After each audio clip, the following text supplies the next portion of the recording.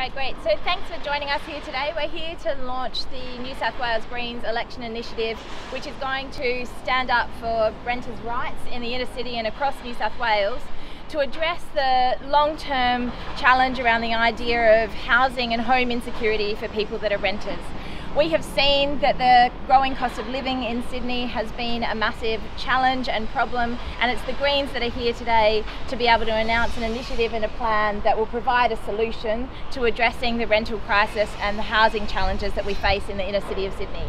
My name's Jenny Leong and I'm the Greens candidate for the state seat of Newtown and I'm pleased to be joined here today by my Greens colleagues Jamie Parker, the member for Balmain and Scott Ludlam, the Green Senator for WA. The initiative, just to run through it briefly, is a commitment of the Greens to introduce a bill to New South Wales Parliament that will do three things. It will provide a cap on rental increases in line with CPI, and it will also require that there is not an increase of rent other than every annual every year.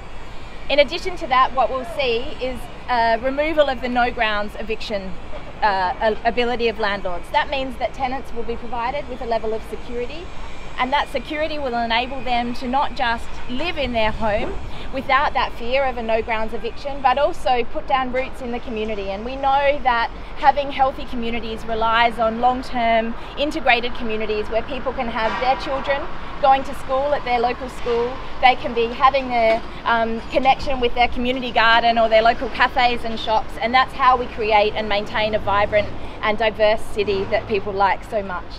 The increase that we've seen in rental costs within the inner city has been a huge concern and something that the Greens bill would address. What we have seen is massive increases, and if the Greens plan had been in place 10 years ago in the Marrickville local government area, we would have seen rents be less uh, uh reduced by about 160, $126 on average per week. That's a significant reduction to people that are struggling to live in the inner city and it's the kind of change that the Greens are willing to do to be talking to policy advocates out on the street, door knocking, talking to people that are renting in areas like Chippendale, Newtown, and Redfern. And in that, what we see is a recognition that they want real policy change on this issue, and it's the Greens that are working to provide that policy change. I'll now hand over to Jamie Parker, who'll say a few words. Uh, the issue of rent and the unaffordability of housing is an issue not just for people in Sydney, but across the whole of New South Wales. We know that the issue of rent is one of the biggest social justice issues in our community. We need to be doing all we can to improve the affordability of housing, and this package will bring some balance back into the market the balance between landlords and renters to make sure that good landlords can keep good tenants and that tenants aren't exploited by bad landlords. The approach that the Greens are taking is one that will bring balance into the system to make sure that there isn't exploitation of tenants by dramatic increases in rents and there can be some stability enjoyed by tenants, many of whom have made the decision to rent, quite frankly, for life. It's important that the Greens message and the Greens legislation that we introduce get supported. We're calling on both parties to support uh, our legislation to help protect tenants to make sure that tenants can be treated fairly and to have a system that's balanced, that respects the role of tenants and ensures that they can have quality, stable housing at an affordable price.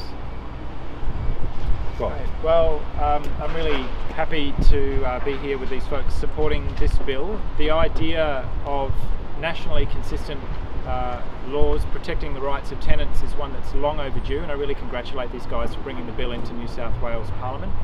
What we have seen effectively as a result uh, of, among other things, deliberate tax policy set by previous governments of both flavours is an entire generation of young Australians priced out of affordable housing. These are people who will never be able to own their own home.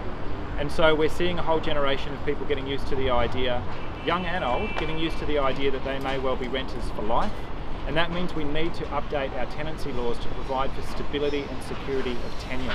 New South Wales, unfortunately, is one of the worst examples of inconsistency where you can be kicked out of your tenancy no matter how long you've lived there for no reason at all, literally on a whim.